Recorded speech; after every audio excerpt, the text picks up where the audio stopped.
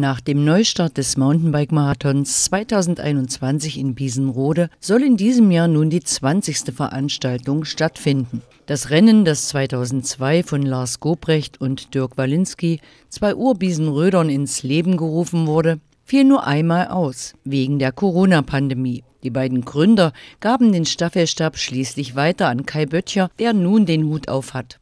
Auch wenn sich bislang nur ca. 50 Bikerinnen und Biker in die Starterliste eingetragen haben, hofft er auf eine gelungene Jubiläumsausgabe des Mountainbike-Marathons in Biesenrode.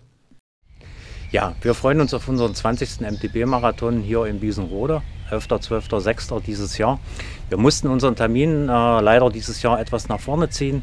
Das liegt aber daran, dass parallel schon ganz viele andere Veranstaltungen äh, geplant waren und wir dann reagieren mussten. Und uns, wir wollten letztendlich dann auch so viele Starter wie möglich auch hier in Biesenrode haben. Deswegen haben wir das verschoben. Dieses Jahr gibt es endlich wieder ein Bergzeitfahren. Das heißt, ihr könnt am Tag vorm Rennen nochmal ordentlich den Berg hochfahren und zeigen, es gibt einen wunderschönen, richtig, richtig äh, genialen neuen äh, Pokal für den Bergzeitkönig. Und äh, ja, streckenmäßig haben wir uns was ganz Tolles einfallen lassen. Es gibt alte Elemente, es gibt neue Elemente. 32 Kilometer, eine Runde, 950 Höhenmeter warten auf euch rund durch schöne Wippertal. Ja, es war sehr lange trocken. Gerade fängt es an, ein bisschen zu regnen. Wie ist denn die Bodenbeschaffenheit zurzeit?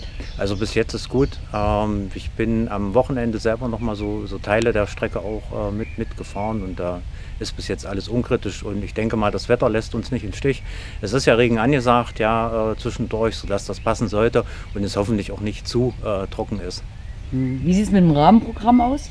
Das Rahmenprogramm ist vergleichbar ein bisschen mit äh, dem vom letzten Jahr. Ja, also soll ja den Zuschauern hier auch ein bisschen was geboten werden. Das heißt, äh, Speise und Trank ist sowieso vorhanden. Ja, Bogenschießen wird wieder möglich sein. Äh, die Wippertal-Tänzer sind wieder mit äh, dabei zur Untermalung. Die Kinder haben Spaß und Freude. Das Kids Race ist wieder da. Also ist für jeden eigentlich was mit dabei. Vielleicht gibt es auch welche, die zum ersten Mal dabei sind. Was ist da zu beachten und sind zum Beispiel auch E-Bikes erlaubt?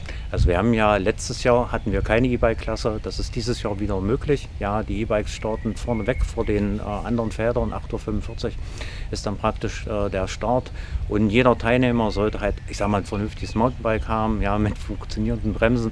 Ja, das ist wichtig. Die Kondition muss passen, ja, gerade wenn man sich so eine Strecke irgendwo auch aussucht, ja, weil es soll ja auch Spaß und Freude mit dabei sein. Und ich mhm. denke mal, Anhand der Strecke, die wir rausgesucht haben, ist auch jede Menge Spaß dabei. Wer eine schöne Abfahrt will, der muss hochfahren. Das ist nun mal so.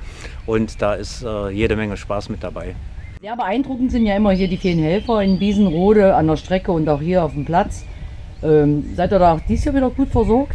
Ich denke ja. Also die Helfergruppe, äh, da wurde schon fleißig äh, hin und her geschrieben. Ja, es gibt viele, die sich schon angemeldet haben. Äh, viele bekannte Gesichter letztendlich, ja. Und ganz wichtig, es gibt natürlich für jeden Helfer dann auch ein entsprechendes Shirt, so als Erinnerung irgendwo mitzunehmen. Ganz viele sammeln die ja. Ja, die haben dann das 20. T-Shirt irgendwo. Und ähm, da kann man sich nur freuen, ja, wenn man als Verein weiß, man hat so eine Unterstützung, gerade hier auch äh, vor Ort. Und ohne die Helfer könnten wir es letztendlich auch nicht durchführen.